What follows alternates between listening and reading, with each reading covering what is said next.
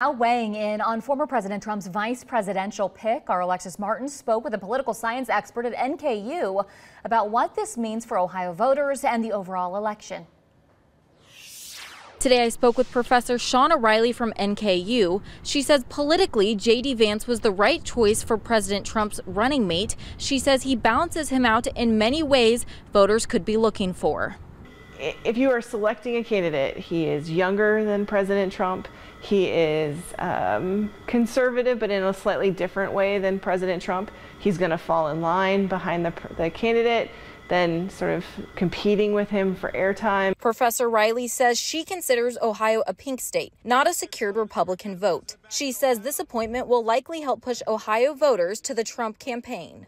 Uh, of course, the expectation is that Ohio will now vote for the Trump campaign, but they also have to ensure that, right? You don't want to lose your vice president state and that be the, the linchpin of the campaign. So there'll be some stops.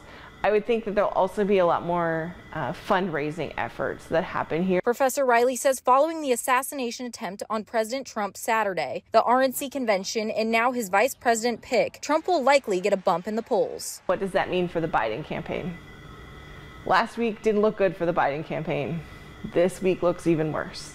And so does that increase pressure that we're going to see on the Biden campaign to perhaps withdraw, change it up? Professor Riley says it's very early for a campaign to be this tumultuous, and this week shows that anything could happen. At NKU, I'm Alexis Martin, Fox 19 Now. Alexis, thanks. Developing now.